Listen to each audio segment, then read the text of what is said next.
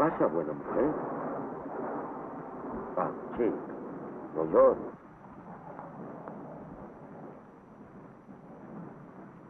No temas. Ven conmigo. En mi casa hallarás techo y mesa. Soy un hombre honrado. Y cuando ofrezco amparo, lo doy de corazón.